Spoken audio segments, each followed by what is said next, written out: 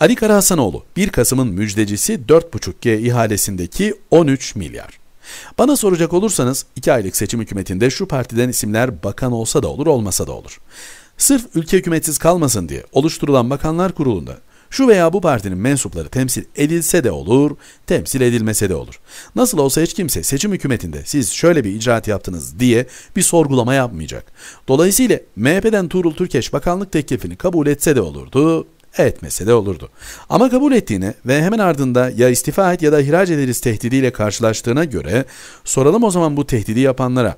7 Haziran akşamı ne zaman erken seçim olacaksa olsun diyen Ramazan davulcusu muydu? 7 Haziran akşamı yaptığınız çağrıdan anında çark ettiniz. Şimdi kendi suçunuzu bastırmak için ilkeli tavır koyan milletvekiline istifa et diyorsunuz. İstifa etmezse nasıl ihraç edeceksiniz? Ne diyeceksiniz Tuğrul Türkeş'e? Ben genel başkanımın 7 Haziran akşamında yaptığı açıklamayla talep ettiği erken seçimin bir an önce ve parti menfaatlerine zarar gelmeyecek şekilde gerçekleşmesi için bakanlık teklifini kabul ettim deyince ne cevap vereceksiniz Sayın Türkeş'e? Biz hemen erken seçim dedik ama sonra baktık ki hemen erken seçimde ayvayı yiyeceğiz anında çark ettik. Tuğrul Türkeş ise bizim alelacele ve acemice yaptığımız erken seçim çağrısına sadık kaldı. Bizim gibi bir öyle bir böyle davranıp ilkesizliklere imza atmadı. Bizim gibi dün söylediğini bugün unutanların arasında böyle ilkeli bir isim kalamaz kalmamalı mı diyeceksiniz. Tablo gerçekten de bu. Bütün alternatiflere hayır diyen MHP üst yönetiminin Tuğrul Türkeş'ten istediği de son alternatife de hayır demeli idik ki tam bir çözümsüzlük olsundan başka nedir? Oysa bu arkadaşlar değiller miydi?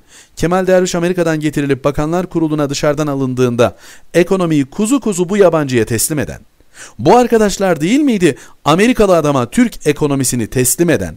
MHP'nin şimdiki genel başkanı değil miydi? Sıradan bakanlık olmaz. Şu şu şartlarımı da yerine getirilmeli diyen Amerika'nın adamının talimatlarına harfiyen uyan.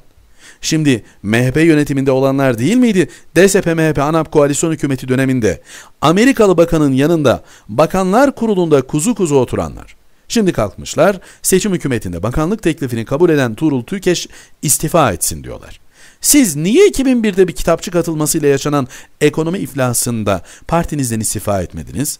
Genel başkanınıza ya istifa et ya da ihraç prosedürü başlatırız demediniz. Bakın tüm fitne fesat kumpaslarına rağmen Ülkenin altına oymak için yapılan paralelli gezicili, PKK'lı, içi boş milliyetçili tüm ihanetlere rağmen dün 4.5G ihalesinde rekor kırıldı. 8 milyar beklenirken 13 milyara aşan bir rakama ulaşıldı.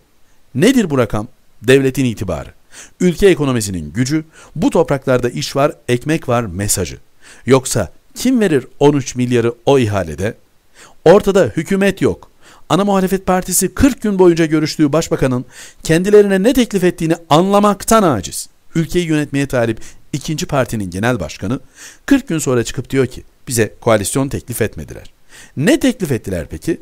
E, çayda çıra oynayalım gel bari bari mi dediler. Üçüncü parti ise bir öyle bir böyle tavır almaktan rüzgar gülüne döndü.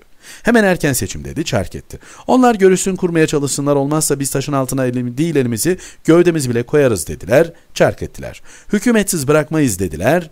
Ya siz girin ya da azınlık hükümeti kurmamıza dışarıdan destek verin teklifine de hayır bin defa hayır çekip yine çark ettiler. Her şeye hayır dedikten sonra gelin bari anayasa gereği kurulacak seçim hükümetiyle kamuoyuna birlikte bir mesaj verelim teklifine yine hayır dediler. Piyangodan meclise giren dördüncü partiyi baz alsanız değil 13 milyar 1 milyar verilmezdi o ihaleye ama teröristlerle kol kola giren CHP'yi de kimsenin ciddiye aldığı yok. 1 Kasım'da sular tekrar kendi mecrasına akacak. Bu ülkede paralelde paralelin emrine giren sözde milliyetçiler de PKK'lı hainler de avuçlarını yalayacak kanaati piyasaya çoktan hakim olmuş. Hakim olmuş ki tüm bu olumsuzluklara rağmen 8 milyar beklenen ihalede devlete 13 milyar geliyor. Ali Karahasanoğlu Yeni Akit